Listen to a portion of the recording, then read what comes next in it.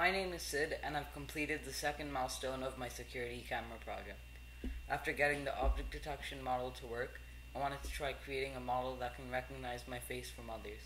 Fortunately, this idea didn't work so well because it's hard for the AI to find patterns that differentiate my face from the other faces in the dataset.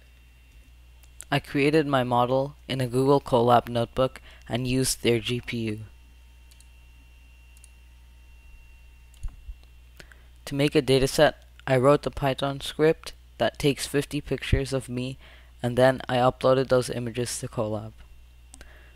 Then I did data augmentation to generate more images of myself.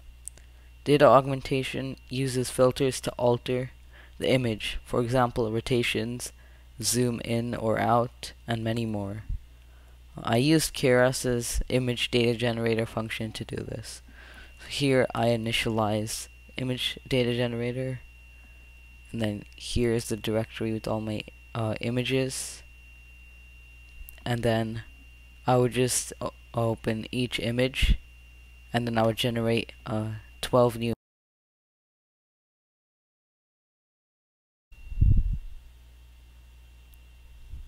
I loaded Keras's VGG16 model to train my dataset. Here is the model summary and all the layers. After I trained it, I got a really high accuracy, but while testing it didn't seem that great.